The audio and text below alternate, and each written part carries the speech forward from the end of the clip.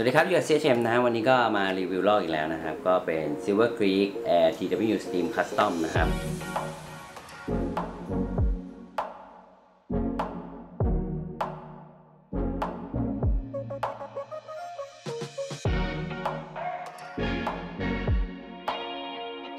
เจ้า Steam Custom เนี่ยครับ ผมไม่ unbox นะ เนื่องจากในกล่องไม่มีอะไรเลย ไม่ต่างกันก็คือมีคู่มือแล้วก็มีถุงใส่รอกมา แล้วตัวนี้ไม่มีไดอะแกรมนะครับ เพราะฉะนั้นอย่าคาดหวังไป search ในอินเทอร์เน็ตนะฮะก็ Silver Creek ตัวนี้มาในรอบ 8.5 ทั้งซ้ายและขวานะฮะ มีรอบเดียวนะครับ น้ำหนักอยู่ที่ 170 กรัม หมุนแขน 1 รอบเก็บสายได้ประมาณ 74 เซนนะฮะ มี ball bearing มา 6 ตัวนะครับ แล้วก็มีมาในเทคโนโลยี Hyperdrive Design ซึ่งเป็นเทคโนโลยีใหม่ของ Daiwa เขาที่ทำให้รอกมันหมุนลื่นนุ่มขึ้นเพราะ การออกแบบเฟืองใหม่นะครับ Hyper Armed Housing ที่เขาบอกว่ามันแข็งแรงขึ้นนะฮะแล้วก็ Tough Clutch นะครับดีไซน์ตัวนี้ทำให้ทนทานขึ้นแล้วก็ Dual Support ซึ่งก็คือเป็นตัวที่ทำให้รอกมันหมุนนุ่มๆเนียนๆอยู่นี่แหละนะฮะอ๋อตัวนี้มันมีคลิกเสียงด้วยนะมันเหมือนเจ้า Gekkabijin เลยนะฮะเอ่อในตระกูลแอร์ถ้าไม่นับ Steez Air ตัวนี้ก็แพงสุดแล้วนะณปัจจุบันนะในตระกูลแอร์นะครับตัวนี้ก็แพงสุด แต่ว่าแพงต่างกันไม่มากนะฮะราคาก็อยู่ประมาณ 1 2 0 0 0 1 3 0 0 ในไทยผมได้มาประมาณ 9,500นะครับ ก็เลยตัดสินใจซื้อนี่แหละนะฮะเสร็จแล้วก็อีกอย่างเพราะไอ้เจ้าไอ้แจ็คสันคาวาเซมีตัวนี้ด้วยนะครับ ไปจับมาแล้วก็แบบถูกใจมากก็เลยซื้อมาก็เลยต้องหารอบมาแมทช์กับมันนะฮะเป็นโรคจิตนะครับโอเค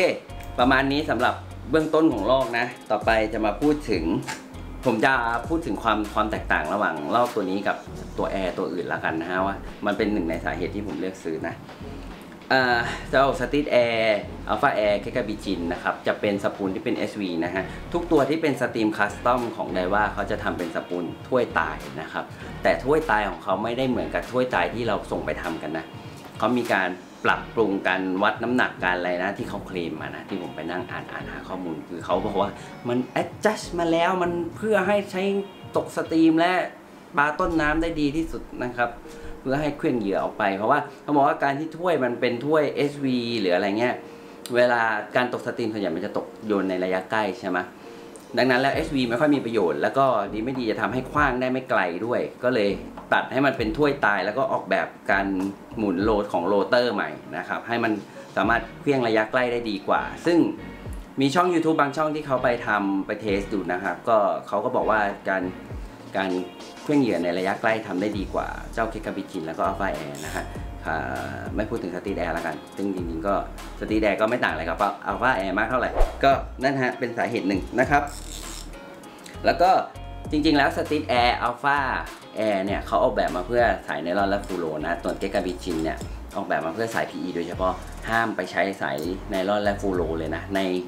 เว็บไซต์ของ Daiwa เองก็พูดไว้เลยว่าห้ามใช้เพราะมันจะทำให้ spool เสียได้นะครับ ก็ระวังกันนิดนึงนะฮะต่อมาเจ้ารอกตัวเนี้ยมันก็มีการ setting ที่เขาแนะนำนะฮะคือแบบถ้าแบบจะใช้มือเลียก็ให้ใช้ให้ปรับปรับ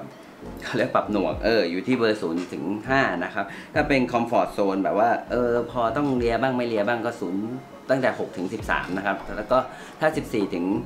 20นี่คือไม่ฟู่แน่นอนเขาบอกว่าอย่างนั้นนะ ผมก็ไม่รู้ว่ามันจริงเท็จแค่ไหนนะครับ แล้วก็ spool ตัวนี้นะฮะ มันก็ custom มาเหมาะกับทั้งสายไนลอน fluoro แล้วก็ PE ด้วยนะฮะ ส่วนการจุสายเขาก็แนะนำว่าใช้สาย 6 ปอนด์ที่ 40เมตรนะครับรวมถึง PE 0.6 และ 0.8 ก็ 40 เมตรเหมือนกัน แต่ถ้าจะแปลว่านั่นนั่นแปลว่า ถ้าเราใส่สายที่เป็น PE 0.6 หรือ 0.8 เราอาจจะใส่มากกว่า 40 เมตรได้ ก็ ส่เผื่อๆไว้ก็ได้นะฮะสำหรับแต่ว่ามันอาจจะทำให้ให้ทำงานได้ไม่เต็มประสิทธิภาพที่เขาเคลมเนาะแต่ว่าสำหรับบ้านเราก็ใส่เผื่อไว้นิดนึงก็ได้ เพราะว่า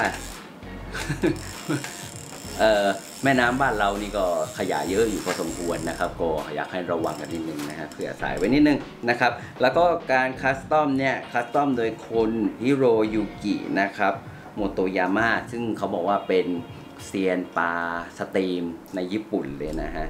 จะเห็นได้ว่ารอกตัวนี้มันจะน้ำหนักมากกว่าตัวแอร์ตัวอื่นนะฮะสิ่งที่มันทำให้มันน้ำหนักมากกว่าแอร์ตัวอื่น ก็สิ่งแรกเลยก็คือมีคลิกเสียงนะครับ Gekkabijin ก็มีดังนั้นมันไอ้ห้ากรัมที่ต่างกับ Gekkabijin คือเรื่องของหนอกนะฮะซึ่ง Gekkabijin knob เขาจะเบากว่ารวม 2 อันนะเบากว่าประมาณ 2 กรัม แล้วก็ตัว star drag ของ Gekkabijin จะเป็นเรซินนะครับซึ่งน้ำหนักอยู่ที่ประมาณ 6 กรัมนะฮะตัวนี้จะอยู่ที่ประมาณ 10 กรัม เพราะฉะนั้น มันก็เลยหนักกว่า Gekkabijin อยู่ประมาณ 5 กรัมนิดๆนะฮะ ก็มาพูดถึงตระกูลแอร์ทั้งหมดบ้างสต e ทแอร์กับอัลฟาแอร์มันเป็นรอกที่ cast ระยะกลางๆ versatile กว่าเขาเรียกว่ามันมันมันกว้างกว่าก็คือใกล้ๆก็โอเค กลางๆจะดีหน่อย แล้วก็ไกลๆก็ยังก้ำกึ่งนะฮะแต่ถ้า Gekkabijin เป็นรอกที่ให้ออกแบบมาสำหรับ cast จากค่อนข้างกลางไปจนถึงไกลนะครับ ก็ตัว Gekkabijin อะจริง ๆ เป็นตัวที่คุ้มตัวหนึ่งเลยนะ จริง ๆ แล้วพอๆกับสต e ทแอร์เลยแหละนะฮะแถมได้คลิกเสียงด้วยนะครับ ก็ก็เป็นตัวที่น่าสนใจนะ ถูกกว่าตัวนี้ด้วยเนี่ย ผมแปลกใจว่ามันดันถูกกว่าตัวนี้ด้วยนะฮะตัวนี้ให้ให้ให้ลูกปืนมาแค่ 6 ตัว แล้วก็เป็นลูกปืนน้ำจืดด้วยนะครับ มีอีกนิดนึงที่อยากเพิ่มเติมให้นะฮะก็ถ้าใครอยากซื้อจริงๆผมก็แนะนำให้ไปซื้อ Gekkabijin นะถ้าไม่ได้ห่วงเรื่องหน้าตานะ คือผมซื้อตัวนี้ด้วยหนึ่งว่าเรื่องหน้าตานะ อะแต่ถ้าใครไม่ไม่ไม่คิดอย่างนั้นนะ ก็ไปซื้อ Gekkabijin แล้วก็ซื้อ spool ตื้นเพิ่มใหม่ตัวหนึ่งก็ได้นะครับ ซึ่งซึ่งมันก็จะดีกว่าเหมาะกับการใช้งานเขาเรียกว่ามันกว้างกว่านะครับ แต่เจ้าตัวเนี้ยมันค่อนข้างจะ fix นิดนึง คือถามว่ามันโดน fix ด้วยอย่างแรกเลยคือเรื่องของคำว่าเป็น Stream Custom ทำให้หลายๆ คนรวมถึงตัวผมด้วยเองนะ ที่เวลาซื้อมาแล้วรู้สึกว่าจะต้องไปตก stream ซึ่งจริงๆ มันไม่จำเป็นหรอกมันอาจจะไปตกปลาช่อนอะไรก็ได้นะครับ เพราะว่า คุณสมบัติของรอกตัวนี้มันก็เหมือนกับ Steez Air แล้วก็ Alphas Air รวมถึง Gekkabijin ด้วยนะครับ ก็แค่โดนบังคับมาด้วยคำว่าคัส Stream Custom แค่นั้นเองนะครับอืมเดี๋ยวผมขอดูนะ จริง ๆ ผมทำข้อมูลมาเยอะมากเลยนะเนี่ยทำข้อมูลนะ แล้วก็มีเนี่ยแบบดูถึงเรื่องน้ำหนักเรื่องอะไรนะ ผมก็ทำข้อมูลไว้ความแตกต่างระหว่างสตีทเอาเกกาบิจิน แล้วก็เจ้าตัวนี้นะฮะก็มีไม่เยอะมากนะครับ ก็ต่างกันแค่ อะไรที่ให้มานิดหน่อยนะฮะก็ลองไปตัดสินใจเลือกซื้อกันดูนะครับ แต่ถ้าใครชอบความเป็นเอิร์ธโทนของมันผมแนะนำครับสวยจริง ๆ ผมเอามานั่งหมุนเล่นด้วยพยายามรีบมารีวิวอันนี้สาเหตุที่มันรีบมารีวิวนะเพราะผมอยากเอาสายเข้ารอกนะครับผมเลยต้องรีบรีวิว จริง ๆ แล้วมีมีติดค้างเรื่องคันเบ็ด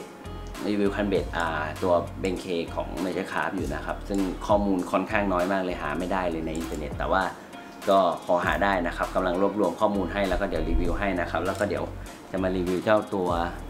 คอเซมิตัวนี้ด้วย ซึ่งเป็นตัวเก่านะ แต่ว่ามันก็ยังสภาพมันก็ไม่ใช่ไม่ใช่สภาพเขาเรียกว่ามันก็ยังเป็นตัวที่ดีอยู่อะ เออ ก็เดี๋ยวจะมารีวิวให้ฟังเพิ่มเติมนะครับ ถ้าไงวันนี้เออ ฝากช่องไว้ด้วยนะคะเห็นความตั้งใจของผมแล้วใช่ไหมคือแบบเวลาทำทำคลิปรีวิวทีนึงอะผมจะหาข้อมูลค่อนข้างเยอะนะครับ ก็ฝากช่องฝากคลิปฝากช anel ฝากกดไลค์กดติดตาม และกด subscribe ด้วย ขอบคุณมากนะฮะแล้วเจอกันคลิปหน้าครับ สวัสดีครับ